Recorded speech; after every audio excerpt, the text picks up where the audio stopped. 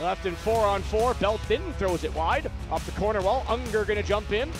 Weagle gets bumped away. That one by Evans, and Unger comes in with a rebound chance. They score. Ah, this is a missed interference call in my mind, but the Melfort Mustangs are going to get the game's opening goal. It's 1 0. Ziola will kick it free out of the scrum. Shake it back around the net. Pass up top for Cole Unger. Mesa bodies in front. Shot cross green. Scores! Well, there's a bounce off of body, and I think it's the former Bronco Danton Cox getting the goal. It's 2 0 Melfort. Under 30 on the power play. Broncos trying to rush up and get set up one more time. Kaufman snaps a pass. Van Blaircom will bring it in.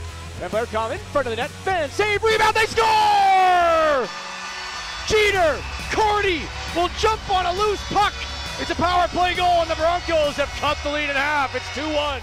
Under a minute left here in the period. 33 seconds on the power play. Hutchinson across, hit a body, still falls to Duguay. Up for Henderson. Duguay on the right wing. Down low. Sleva throws it out in front. Rebound chance, and they score.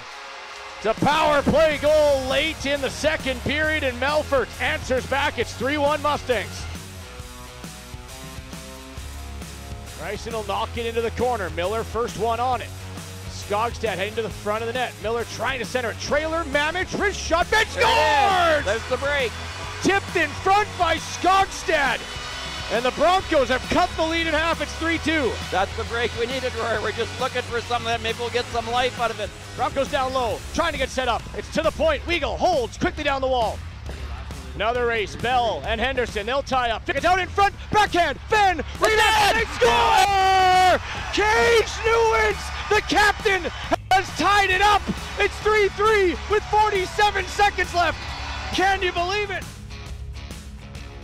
Here, Olafson down is Hutchinson. He's got to get back up. Unger, Risha Motew a save.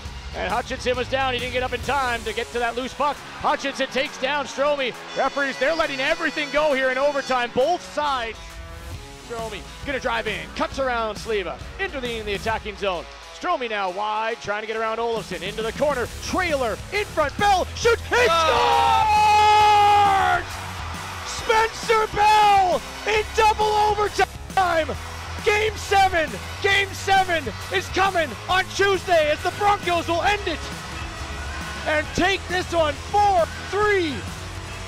Oh, baby, Spencer Bell. He does it again, and the Broncos win to force game seven. The game day highlights brought to you by IKS Live, proud sponsor of the Stay Here, Play Here program and the SJHL.